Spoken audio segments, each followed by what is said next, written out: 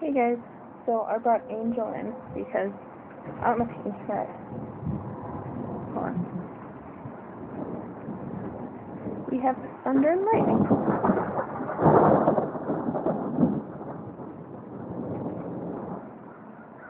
We've got thunder and lightning storms going on right now. Um, the power just flickered, so we're I'm hoping the power doesn't go out because I really have to get dinner going for today for everybody.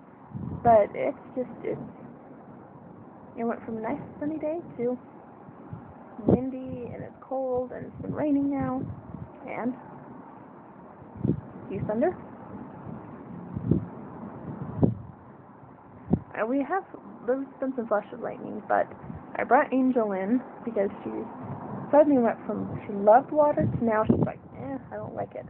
So I brought her in and she's hanging out for a little bit until this this stops. So we'll see how it goes. That.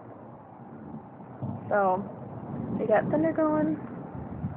So much for my plans that I was gonna do this evening. Um I think we were gonna do a little bit of a camp out tonight, but I don't know if we can with the rain. I don't know, we'll see. But cold.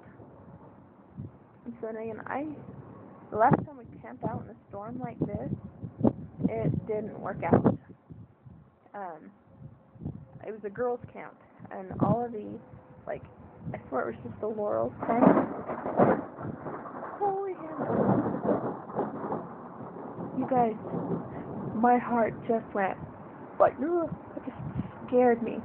Um, anyways, whew. Okay, my heart's racing. Anyways, the Laurel's tent, all our sleeping bags got doused, and it was just muddy and nasty. Whew, my heart's racing.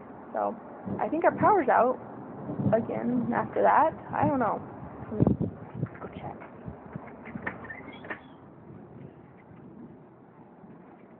Nope, we still have lighting. So, but I'm going to go and try and get dinner done while I can. Thanks for watching, guys, and let me know what story that you have in the rain or when you've had thunder like this. So, thanks for watching, guys, and I'll see you in tomorrow's video. Bye, guys.